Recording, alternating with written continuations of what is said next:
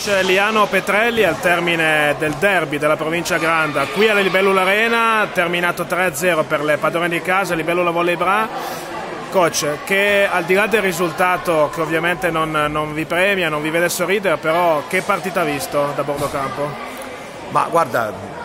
giocavamo contro una squadra solida, che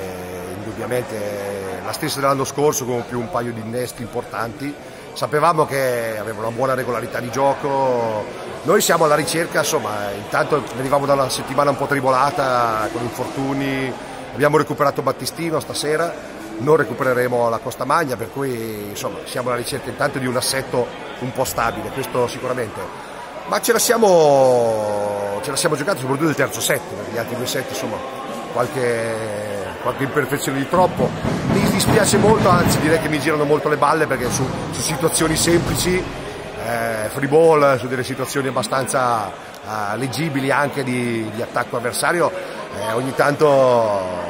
siamo lì che ci incantiamo, non, non prendiamo delle, delle, decisioni, ci vuole un po' più di personalità in certi momenti, però insomma ripartiamo da questo terzo set sicuramente perché insomma, questo terzo set ci ha dato, dato la sensazione di esserci lì, di potercela giocare e,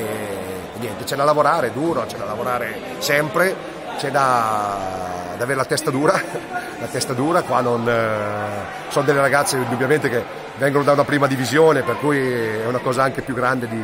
di quella che magari si aspettavano, però eh, molta fiducia, so, ci, sono, ci, sono, le qualità per potercela giocare, per crescere, per migliorare. Per cui, eh, complimenti a Bra stasera che ci hanno permesso poco i primi due set, poi, poi insomma ce la siamo giocata il terzo.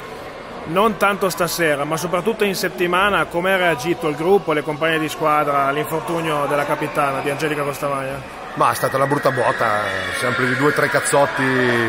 ci abbiamo messo un po' a riprenderci, però sia ieri che, che giovedì insomma ah, sai, si, si, deve andare avanti, bisogna metabolizzare, si fa quello, il meglio di quello che possiamo con quello che adesso abbiamo, insomma, abbiamo, eh, abbiamo la fortuna di, di, avere una società che, che, ci sta dietro, ci segue, queste ragazze hanno, c'è tutto per poter, per poter crescere e, e giocarci e toglierci qualche soddisfazione. Ecco, eh, a partire da, da, sabato prossimo e poi insomma, per il proseguo della stagione, Cuno che comunque vuole racimolare dei punti, vuole fare bene, ci stanno spegnendo le luci, però insomma com'è secondo lei il là del, della stagione? Ma noi che vogliamo fare bene, beh, insomma, vogliamo crescere soprattutto perché sapevamo insomma eh, sulla griglia di partenza eravamo un po' più indietro, insomma questo è un gruppo nuovo con tante, con tante ragazze soprattutto dell'Under 16 eh, su cui cerchiamo di, eh, di, guardare avanti, di poter, eh, di poter insomma, nel corso del campionato vedere dei passettini, dei passettini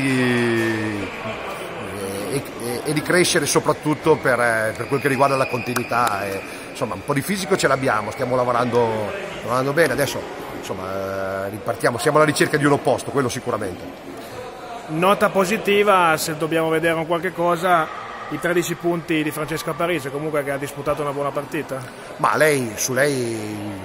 ci contavamo, ci contiamo, nel senso che è una, una bella presenza, è un'abituata a, a, giocare duro, a giocare forte, viene da delle esperienze, eh, delle esperienze importanti giovanili, per cui sa cosa vuol dire guadagnarsi la pagnotta. Eh, insieme a lei, intorno a lei, dobbiamo, metterci, dobbiamo crescere, insomma, perché abbiamo bisogno tutti quanti di fare non, non solo il nostro, adesso anche qualcosina in più di,